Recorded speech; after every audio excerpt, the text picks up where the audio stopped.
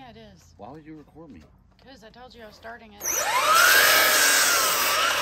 Ah. Psych.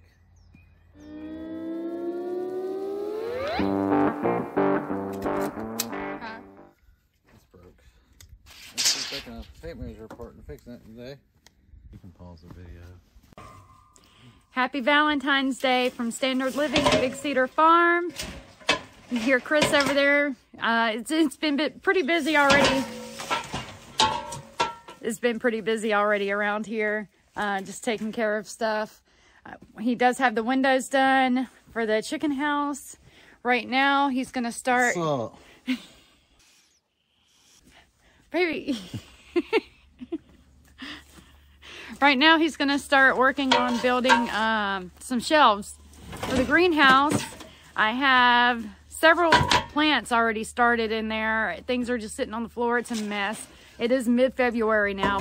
So for Georgia, it's time to really start planting all the seeds and getting everything ready. And I just, I can't go any farther until I have things more organized because it's a mess. So um, he's going to turn his attention and get some shelves built and I'll help him. And that's what we're going to do right now. Yeah, baby. When you see the final shelf put together and installed in the greenhouse towards the end of the video, let me know if you would change anything or design it differently or maybe the shelves, different sizes. Just any tips and tricks or if you've built shelves before and you know of a design that works much better, just let me know.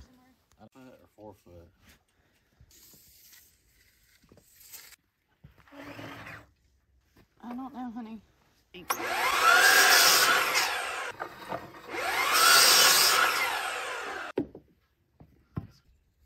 This way? Uh, you know what? This is a good height right here. A good size right there, isn't it? So it's gonna be like going down that way. What's or this is Well, just cut this off here. You know, cut Yeah. this off, and so you have a big bottom shelf, little shelf, and smaller top shelf. This. I was going to measure the bottom and on this first. I hear a hawk. I do too.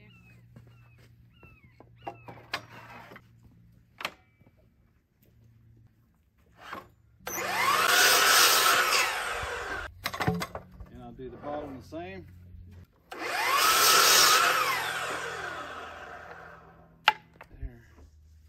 That's gonna be a hard one. That's not gonna be one.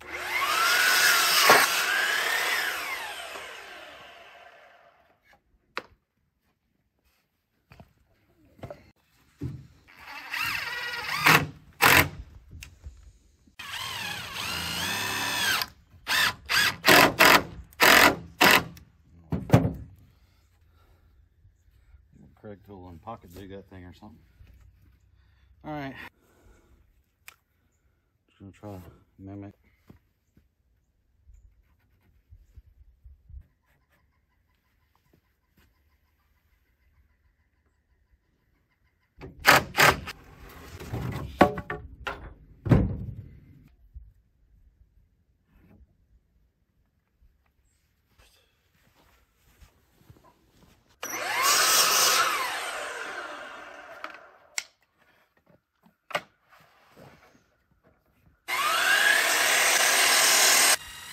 Oh, do we need to draw up blueprints for this so we know how to do it? You can do it after. Probably oh, need it. I don't know, you tell me, should I list blueprints of these things online? Or are they too ghetto for common use? Those are perfect for common normal use, normal people. Normal folks? Yes, normal. I think we're gonna go eight foot wide on these. What do you think? That's that sounds good. Maybe not. Maybe let's go six, Six foot. foot, yeah. Eight foot seems like it might sag a little bit once yeah, it let's gets do wet. six. I don't want it to start Yeah, no, me neither. sagging. I think we'll come 24 inches off the ground for the bottom shelf, just to be off the ground, and then you can still put stuff under it. Uh huh. Does that sound? Like, what am I gonna put under it? I don't know. I don't want plants sitting on the ground. 'Cause, I mean, you might want to do a, I would rather have a lower a low shelf. shelf, Okay, so, so it's maybe close to the ground, but not sitting on the ground. Better drainage and you know stuff. so we're right under five foot high. 57 inches. So we can go, because I want a shelf up high, a small shelf up high to put gallon mm-hmm. plants, whatnot. No, we'll do one really low and then you put one or two more And I shelves think, in the yeah, middle. the bottom one we should go, how high? What do you think? 10 I- inches? What? 10 inches will be around here, Yeah, I was thinking more like five even. or six. Six inches Let's do is six fine. inches above. Six inches is what I'm used to. Yeah, right? That's what Yeah. she said. We'll do six inches. We'll do 30 inches. Yeah, we'll do six inches, 30 inches, and 56 inches. Okay, workbench made. Kinda. Work.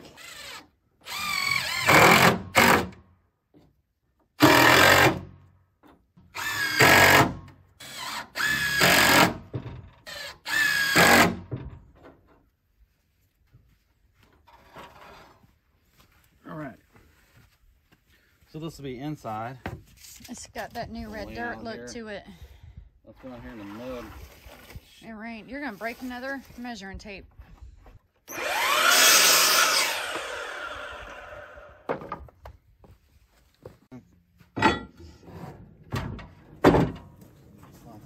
Slide. Cause you know why? Why? Because I screwed up and went above the six inch line instead of below it. In a good mood. They like the warmer weather. Making Some noise. Alright. And there are things you can buy at the store. They call them saw, sawhorses.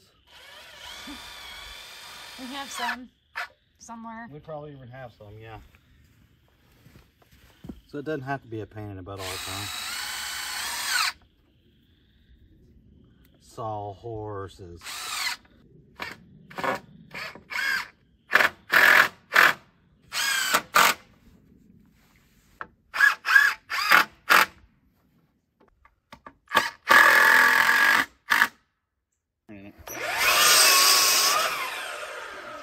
All right. I gotta go. I guess I'll drive the truck up, but you know. Welcome back to this old chicken house. Do you remember I showed you this old house? Yeah, I knew what you were referring to. Welcome back to this old chicken house. It ain't recording, is it? Yeah, it is. Why would you record me? Because I told you I was starting it. Psych. All right, I gotta shut the greenhouse up and then I'll bring coffee. All right. Okay. We're gonna go ahead and screw these boards together like this here.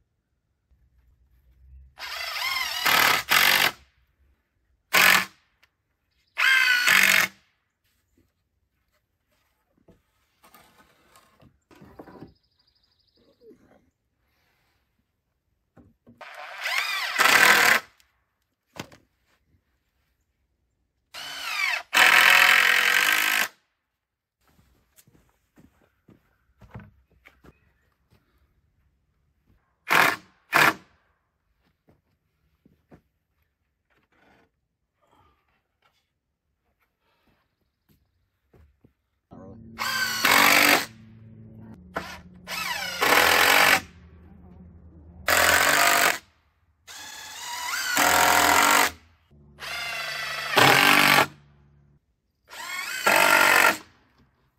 I guess.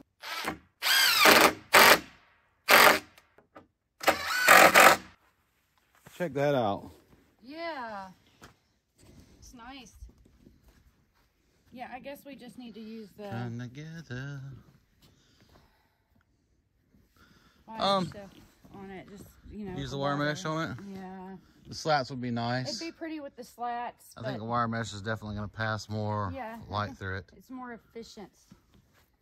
The, the wire mesh is more efficient. Yeah. Dookie, where were you at? He was over here.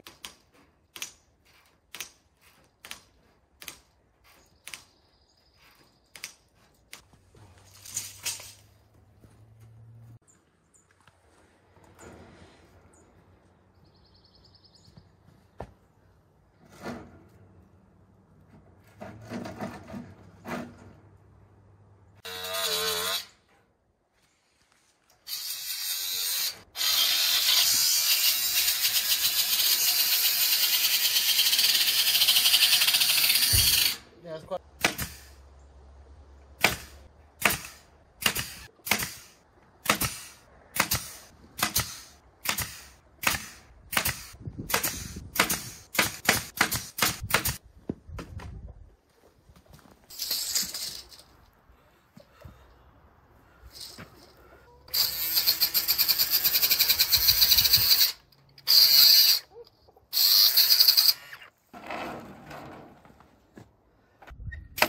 just thinking something for them. They just want their house Technically is, because I mean, what we They're like, where's my house? Why isn't it finished?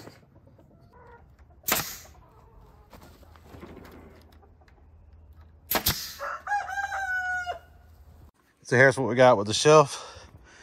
I was gonna put wood slats across it, but the galvanized mesh seemed like a more economical thing, I guess you'd say. It'll help water drain a little better and probably last longer. We probably need to pressure wash it off, but it's going in the greenhouse.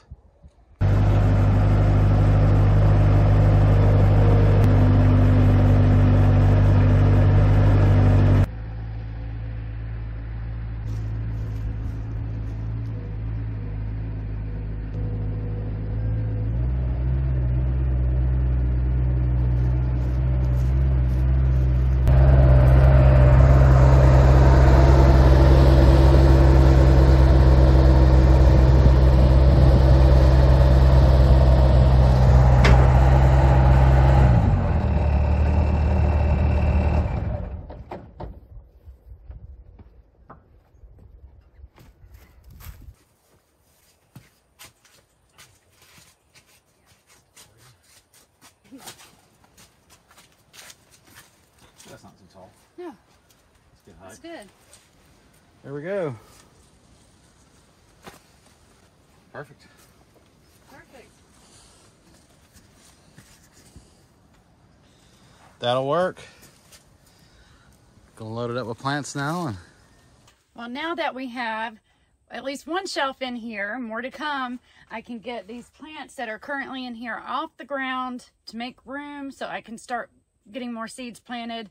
Um, when I first planted most of these, I couldn't find my labels, my so I wrote on paper with scotch tape, and now you can barely read it from the water. I knew that was going to happen, but you know, you just make do and do what you can. So now I got to go through and relabel it so I know what things are as they start popping up here. Um, so let's get to work.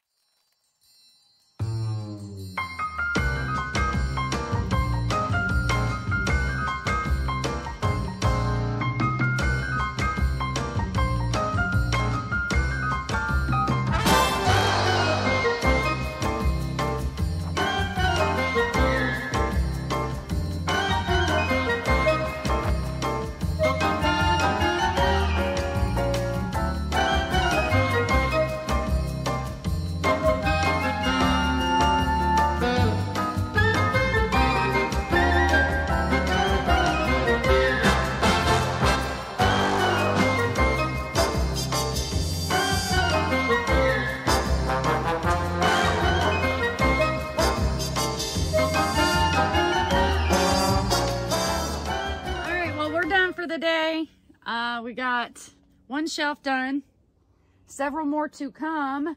Uh, we'll see how long that takes. We have so many things going on right now. I have some wire racks. I may just pull a couple of those in here temporarily. Um, I got everything labeled. a couple of problems I found.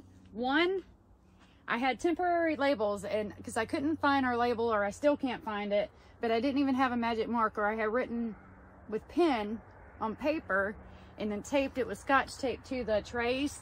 I knew it wasn't a good idea, but it's what I could do right then when I start started these seeds. Um, I have four containers down here. I have no idea what they are, so it's a surprise. Um, bonus plants. I know one's an herb. I just don't know what herb. I think it might be chives, but I, I don't know. But we'll we'll find out eventually. It's just it's a surprise. Um, other than that, I have these smaller cell trays to use. I'm gonna mainly use them probably on um, just fresh cut flowers. But I do have cabbage, uh, cauliflower, and Brussels sprouts in them. And what I found was on these small cell trays, these tips right here go right through the little squares of the mesh. so, um, I mean, it's not that big of a deal. I can always put a pan or something down below it or just use like this table or something for just those. So not a deal breaker. We won't be using those much except for fresh cut flowers and, um, you know, just a few things. Well, that's it for now. Thanks for watching. Make sure you like and subscribe and come back for more. Thank you. Have a good day.